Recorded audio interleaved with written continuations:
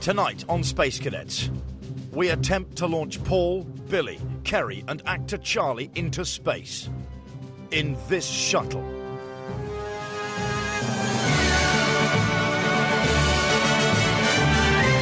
Welcome to Space Cadets.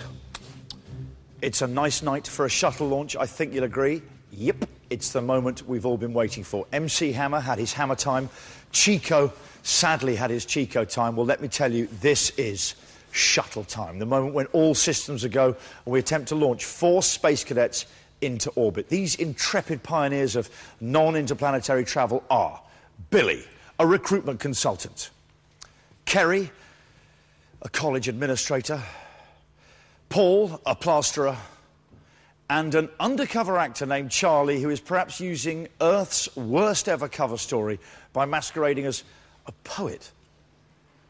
All the graduates of the fictional space facility STAR, the space tourism agency of Russia, and they've all undergone an intensive three week training course. Now, this evening, they will be boarding Earth Orbiter 1 and doing what one tends to do in an orbiter orbit. But will they rumble the ruse? Put yourselves in their shoes. After all they've been through, it would actually be weird for them to question the whole thing. But back to the launch. Over the last three weeks, their expectations of space travel have been altered, not just by chucking Newton's universal law of gravitation out the classroom window, but by telling them such things as you only need to train for three weeks to go into space, or they won't be taking off vertically, and there'll be gravity machines on board keeping them stuck to the floor. Crucial to the success of the mission will be the performance of the shuttle simulator, Earth Orbiter 1, the construction of which I can assure you has been quite a performance in itself.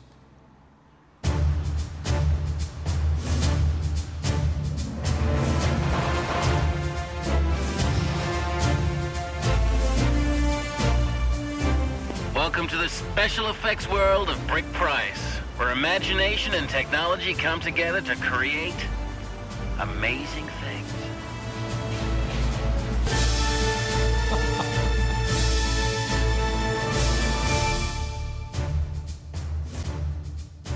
Price, one of Hollywood's top special effects directors, has been given the job of building a space shuttle interior capable of convincing our space cadets they're blasting into space.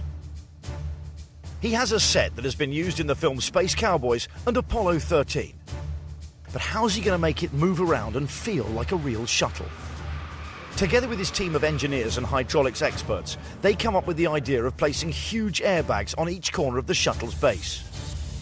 The airbags are considerably bigger of necessity on this. They have to. They, they came from a um, Greyhound bus type of a thing. But right now, without the shocks, if you start to rock it a little bit, it just oscillates. Okay.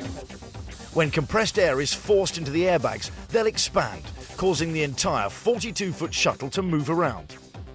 By adjusting the pressure of the air, the movement can be gentle like the swaying of a boat on water, or intense, similar to severe turbulence on a passenger aircraft. After only a, about a half an hour, I find that I, I need to get my land legs back. So it moves realistically enough during normal flight. But how can they make the cadets feel like they're experiencing the launch they're expecting? Remember, we've told them the shuttle will take off like a conventional aircraft and gently corkscrew into space. On the launch, we have a hydraulic ram which lifts up the cockpit area because the only time that, that you're going to feel that acceleration is when you first take off. wow. Part of the job is to trick the cadets' senses. The hydraulics on the front of the craft will push them back into their seats, mimicking G-force, and hopefully make them feel they're accelerating away from the Earth. Gives you that sense of acceleration because you're pushed into the seat back. And uh, when you couple that with movement, it is terrifying. So it looks real and feels real. But one vital piece of the puzzle still remains to be completed. It needs to sound real. And something very important is the sound of the, the launch, of the noises that are running when you're going through space. It has to be believable. It has to be believable for a long period of time. So I wanted to get the best person I could, and that would be Dean Andre.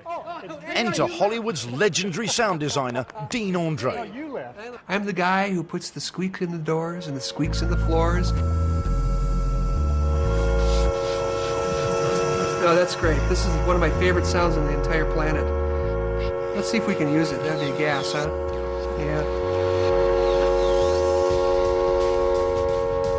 We're bringing in some new technology, sound technology called ambient sound. We're able to move sound up and down and right over the top of a person's head. So we'll be able to accomplish this right inside the space shuttle. It's the very first time anyone's had it. Steven Spielberg doesn't have it, James Cameron. No one has it, but we have it right here.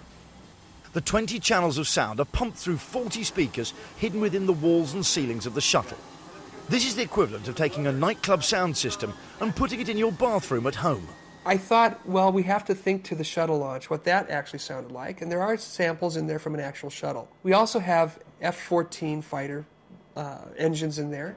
We have a combination of probably 15 to 20 different aircraft in there, plus explosions from a howitzer, a World War II howitzer, that ignites the actual boosters as the shuttle is taking off. For the launch, Dean creates a sound that will physically vibrate throughout the shuttle and hopefully help convince our cadets that they are moving. He's going down the runway, and then when the when the uh, the main rockets kick in, main rockets kick in right about over here. Here we're taking off, we're taking off, and the rockets kick in, and boom, and now the, the simulator will start to go up like this. But what will our cadets be hearing throughout their days in space? I don't know if many people know this, but space sounds like absolutely nothing. Because of the fact there is no atmosphere, sound cannot travel through nothing. It needs atmosphere. So, because of the Hollywood factor, we need to uh, fool these people into believing that they're really someplace that they're not. And we've added ambience to the ship. We've added a little bit of fan noise, a little bit of uh, rotten. How do you like that? The cadets' orbit around the Earth will not always be smooth space sailing. They'll encounter various events along the way. It's Dean's job to make sure that every event has a realistic sound to match. One of the segments in this particular program is to create a meteor shower. So I'm thinking, how would we make the sound of a meteor shower hit, hitting a space shuttle? Dog food and cat food. I'm putting a mic inside the van here. Here we go. My neighbors think that I'm crazy.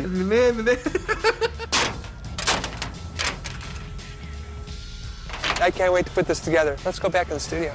We have to process this one. All we need is about half a second. Okay, so we're going to learn that. And it sound like little bits and pieces of meteor are clunking against the shell of the, of the hull. So everything is set. Because none of our cadets have prior experience of spaceflight, they've nothing to compare the experience with. If it feels and sounds realistic, then hopefully they'll believe they're actually heading for space and orbiting the Earth. With everything in place, it's time for our boffins to strap themselves in and test the simulator.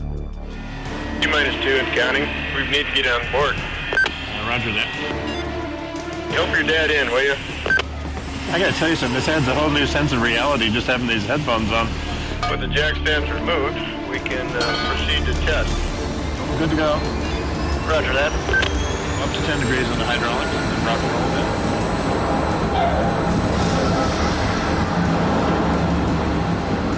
I'm actually feeling like you're taking off. Ah, this is impressive. What do you want to go for, rock and roll motion or uh, four and a half? Shake it up when it's in its right position. Roger that.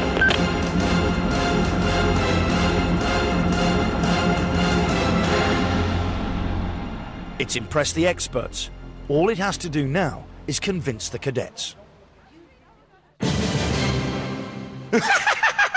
How you like that? Dean Andre,